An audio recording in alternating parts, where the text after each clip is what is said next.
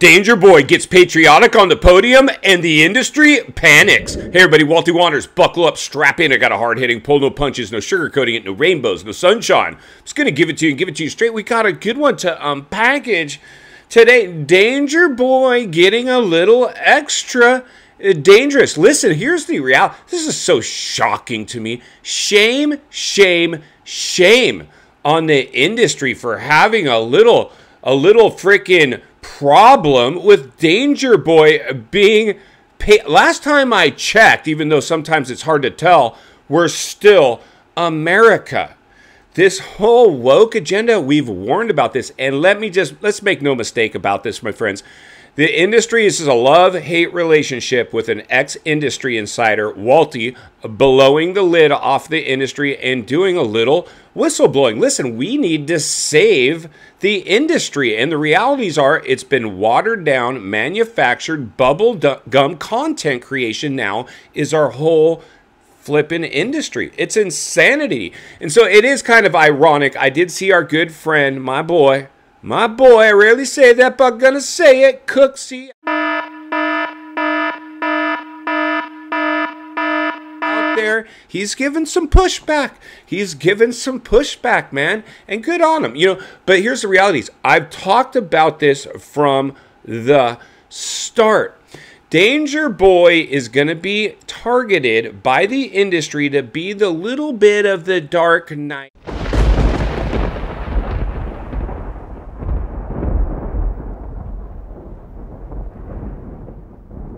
Well, Wonder Boy Jetson will be the the White Knight.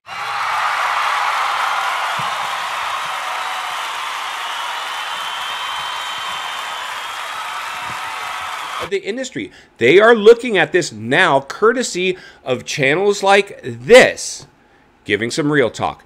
The truth is usually somewhere in the middle. You know, I don't necessarily want to be doom and gloom, but I don't want to be rainbows and sunshine. Our job is to be somewhere in the middle. If that's you, please jump on board, subscribe, jump over to Walty Wanders MX on Insta, get in the community page here, participate in the polling.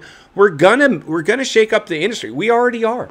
We already are. It's on buckle up, strap in, hold on to your seats, hold on to your hats, hold on to your glasses. We are to shake this thing up. But I thought it was kind of interesting because I don't know if many of you know. So I was got my start basically with Triple X. Long time with Triple X, worked in the office handling all the day to day of our sales and a lot of our race team duties. And I remember Matthes, he ne- we never met face to face that I can remember, maybe at a race or two. He was the wrench for Nick Wey when he came through Triple X. A lot of riders came through Triple X because it was the biggest privateer team on the face of the earth. And we, we had to bulldoze our way in. And actually, when I started, it was with another clothing brand, a controversial clothing brand that attached to a controversial sports team. And we had a lot of fun in the industry. Even a lot of us were straight edge. And we still had fun because this is an extreme sport. But I think Kick Cooks, and like I said, so I remember Matthes calling in a lot and be like, oh, is Jay there? Jay was one of our filmers for the Triple X series, went on to do On the Pipe, but he did a lot of the Moto Triple X videos working under our boss, Kurt, in, ter- in terms of, tra- he was the main filmer, and then Jay was an assistant, and then Jay eventually was a filmer. But the reality is, I remember Matthes would call. Jay, there, can I talk to Jay? Mainly looking for swag, I'm sure. And not, I didn't know.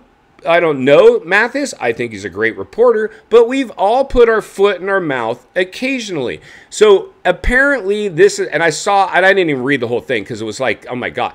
So apparently now he's trying to explain himself on why he didn't think Danger Boy should have been saying what he said on the podium, which was in fact eh, something, not verbatim, was, you know, I needed to show, uh, you know, we needed an American to win the race. The American, an American won the race. This is America. Wake up. If you go over to World Supercross with, with Jeff and Ralph.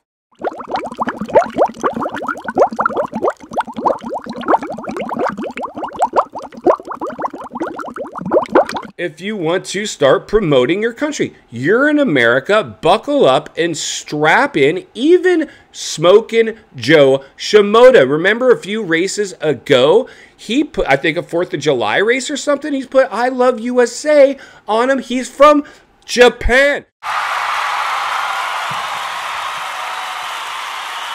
Joe, Smoking Joe gets it, and he's the only one that counts. He's a eraser.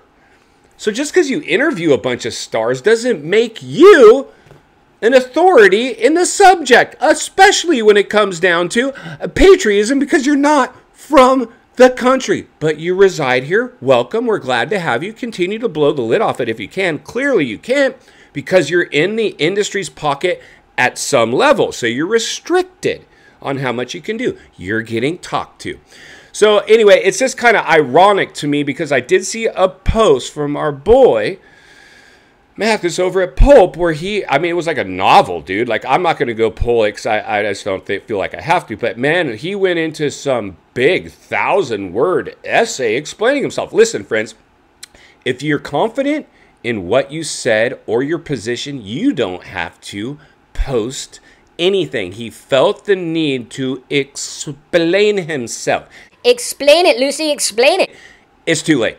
The cat's out of the bag. The damage has been done. You may as well just run with it. Listen, my man. Listen, dude. Listen. Here's the deal. You're, if you're not getting into some some crap once in a while, you're not doing your job. Just own it. It's all good. This wasn't an issue. Now it's a bigger issue because you're trying to explain yourself. Now, you could, what you really should have said is like what Bud Light said when they jacked up their brand.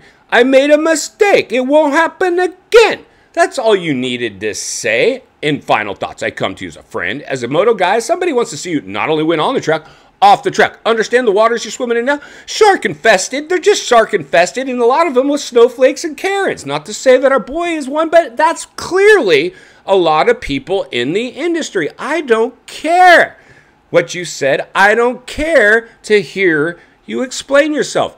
We forgive you. Let's move on. This is Moto. If you're not afraid to get your hands dirty, you're in the wrong sport. Maybe go report on some ice hockey. I don't know. But I know in the meantime, Walty and others will be here to blow the lid off it every step of the way. Because it's not only what we need, it's in fact what we deserve. If you appreciate the content, I want to humbly ask you to give the video a like, subscribe to the channel, leave a comment below. I'd love to hear from you. Social media link in the description of this video, along with links to channels I've appeared on, I think you might enjoy. it. If you enjoyed this video, I think you're going to love the next video, and there's an easy subscribe button for your convenience. As always, thank you for your time. Don't go over the bars. I'll see you on the next video.